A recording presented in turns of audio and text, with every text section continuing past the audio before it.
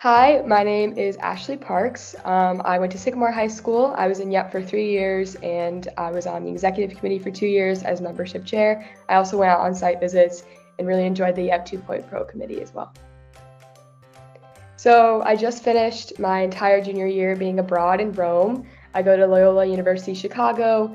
I'm double majoring in global studies and advocacy social change with a minor in peace, conflict, and justice studies. Um, and so I've had the opportunity to do a research cohort being abroad in Rome, and it's been amazing. And so now I'm in Bologna, about to head back to the States.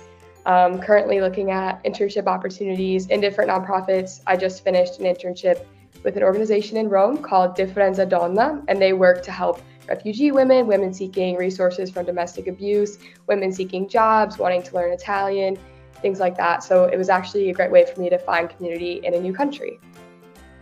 Yeah, so YEP shaped me in a lot of ways, definitely. I think one of the things I didn't realize right away upon being in YEP was how each person has their own influence, their own way to connect, their own change they can create. And so I think it's such a unique opportunity that I carried with me um, in college and definitely being abroad as well. I was able to lead in situations that I didn't realize I had the capacity to do. I seeked out volunteering positions. I was able to form a deeper sense of community in Rome, as I mentioned previously, working at an internship.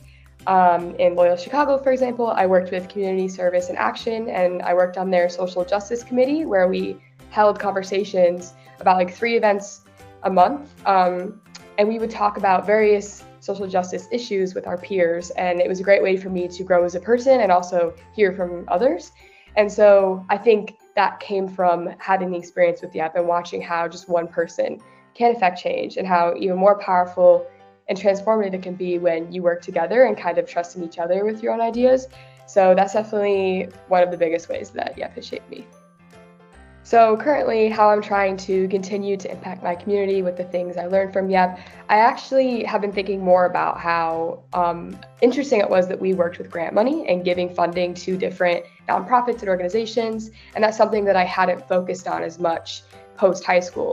And so, actually, um, I'm currently in the interviewing process for an organization called Women Employed in Chicago, and they work specifically for financial support for women and empowering them in all walks of life from jobs, um, school, if they need support because they're lacking resources. Um, and they're focused a lot on equality financially for women. And so I think this is kind of returning to YEP in a way of focusing on giving grants and how can monetary funds change communities and really create empowerment. So that is actually a really cool thing that is I'm excited to connect back with YEP. Okay, so funny memories from YEP. Um, one I have is my last year in YEP actually. So I was on the executive committee as membership chair, and I was tasked with introducing this panel of like nonprofit philanthropists. I was excited. I knew some of them that were on the board, and I was excited that I got to introduce it. And Noah was told me, you know, make sure that you know who's sitting where because the list of names isn't in order, so you don't want to read off the wrong name. And I was like, totally, whatever, like fine um, mingling with my friends. It's fun, you know, yep, meetings are fun. And then I get up there in front of everyone. I'm like, okay, like everyone, uh, here are the panelists. And I start reading their names. And lo and behold, on accident, I read a man's name for like the second woman in the line, and she was super confused.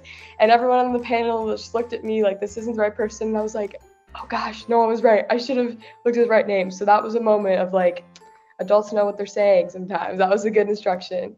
Um, and then probably one more memory, and this is a favorite site visit of mine, was the Royal Children's Ball.